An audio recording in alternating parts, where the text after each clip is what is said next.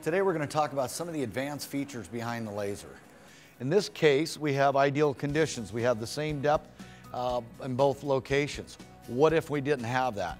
Some applications are not so ideal. Your water flows through, maybe it drops in the manhole, um, and the laser would not work properly in, in those conditions.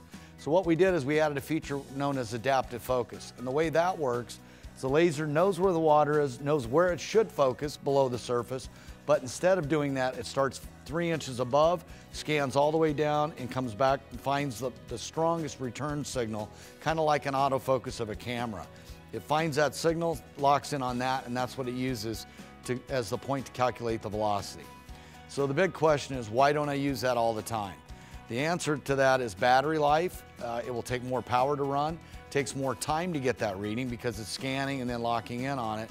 But probably one of the biggest things would be possible uh, loss of accuracy because now it will more than likely look more at the surface of the water rather than go below the surface, which is the patent of the laser.